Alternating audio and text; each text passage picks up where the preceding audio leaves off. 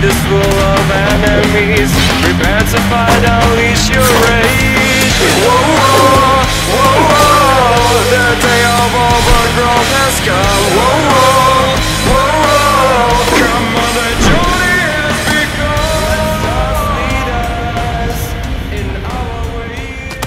This is David Rosen from Wolfire Games. In this video, I'll demonstrate Overgrowth 1.0. There's a lot to talk about, like the new story following Turner as he fights to free rabbits from slavery.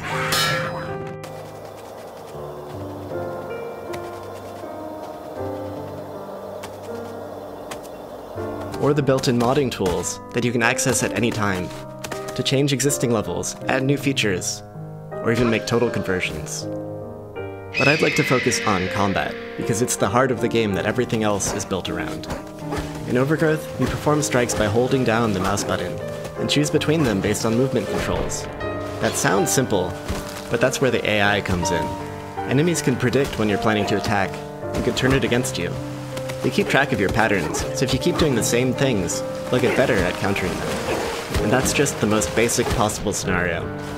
More often there's weapons involved, or multiple characters, or environmental hazards, or all of those at once. Now it might sound too hard, but fortunately, if you're defeated, there's never any kind of loading screen. You can leap right back in and try a new strategy.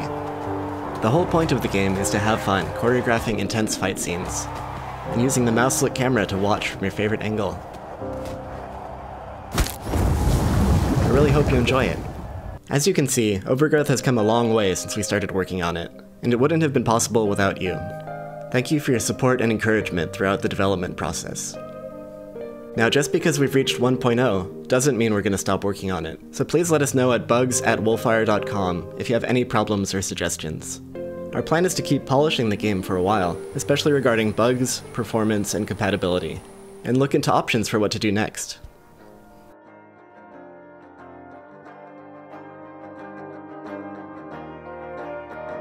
That's it for this video.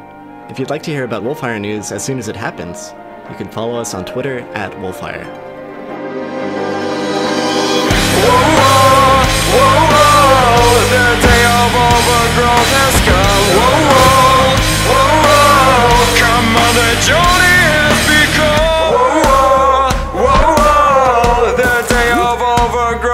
go.